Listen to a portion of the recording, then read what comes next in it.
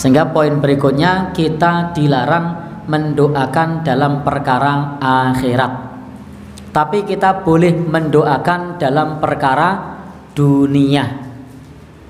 Jadi Allah berfirman, "Maka nalin nabiyyi tidak pantas bagi nabi walladzina amanu dan orang yang beriman ayastakfiru lil musyrikin memohonkan ampun orang musyrik walau kanu uli kurba meskipun itu saudara kerabat.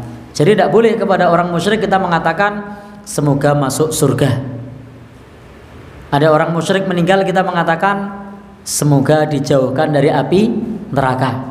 Atau misalnya semoga husnul khotimah. Atau misalnya lagi Allahumma gfir lahu warhamhu wa'afihi wa'fu anhu. Itu dilarang. Jadi tidak boleh kita mendoakan seperti itu. Tapi kalau doa dunia boleh, tidak dilarang. Ada orang kafir sakit, didoakan cepat sembuh, boleh tidak? Boleh. Apa terjadi di zaman Nabi? Ya, hadisnya populer. Ada kepala suku kafir yang pada saat itu sejumlah sahabat sedang melakukan satu perjalanan hendak bermalam di kampung tersebut. Ternyata tidak boleh. Sampai kemudian kepala suku ini disengat kala jengking Lalu bikin sayembara siapa di antara kalian kalau ada yang bisa menyembuhkan sakitnya boleh nginep. Maka kemudian ada di antara sahabat Rasul yang bisa ruqyah. Lalu dibacakanlah Al-Fatihah. Orang kafir loh padahal ini. Dibacakan Al-Fatihah oleh sahabat lalu ditiupkan kepadanya dan ternyata sembuh. Ini berarti mendoakan kesembuhan. Doanya pun pakai al Al-Quran pakai surat Al Al-Fatihah dan kemudian begitu selesai sembuh pulang dibawain beberapa ekor kambing. Nah, itu hebatnya sahabat Rasul itu. Sakit bacain Al-Fatihah sembuh. Padahal yang dibacakan Al-Fatihah ini orang kafir.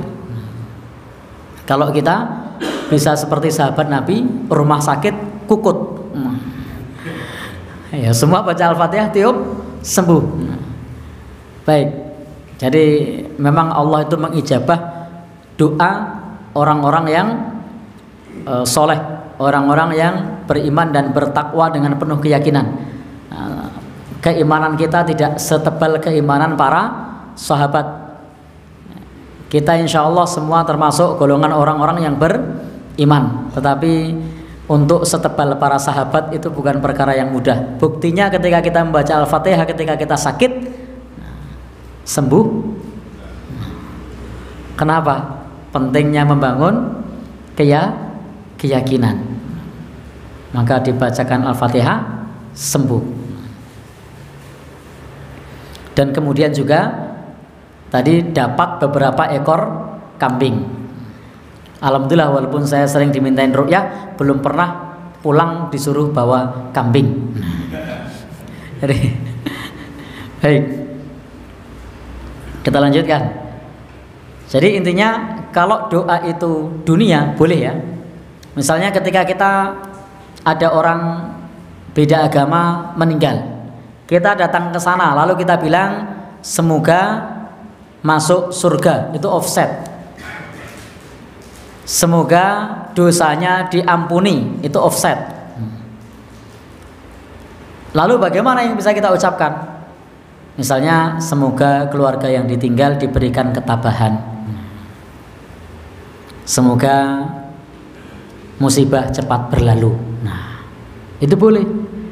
Tapi tidak kemudian mengatakan semoga masuk surga insya Allah sudah tenang di sana misalnya.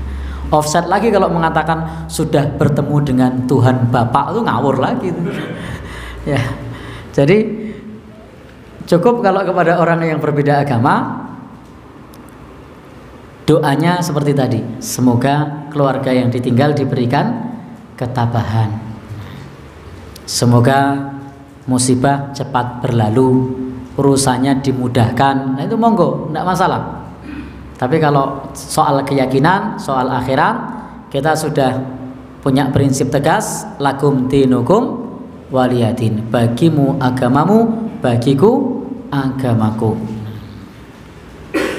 Baik kita lanjutkan. Yang berikutnya. Yang berikutnya silahkan mendoakan hidayah kalau ada orang yang memiliki ciri-ciri seperti orang Islam. Contohnya adalah tasmituhu idza atasa wa hamidallah. Kalau mereka bersin mengucap alhamdulillah, maka silahkan doakan. Bukan yarhamukallah doanya.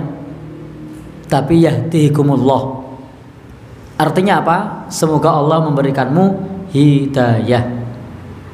Kalau ditanya apa artinya? Semoga dapat hidayah. Marah tidak orangnya kira-kira? Baik. Jadi mereka misalnya tiba-tiba mengucap astagfirullah. Doakan yahdikumullah. Semoga dapat hidayah. Saya pernah beberapa kali punya pasien ru'yah itu. Itu yo istighfarnya lancar. Baca Al-Fatihah juga lancar padahal bukan muslim juga lancar.